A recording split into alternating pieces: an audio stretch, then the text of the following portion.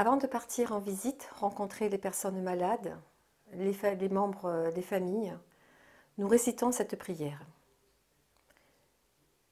ce qu'on appelle la prière du visiteur.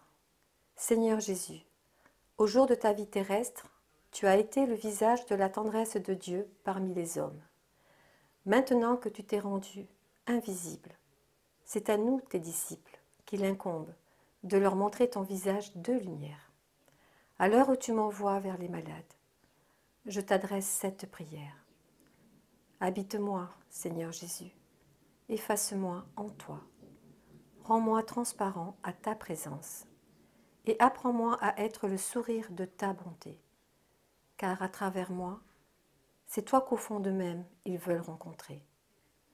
Inspire-moi constamment l'attitude à prendre, les paroles à dire et les silences à observer. Alors, je serai pour eux un chemin qui conduit vers toi.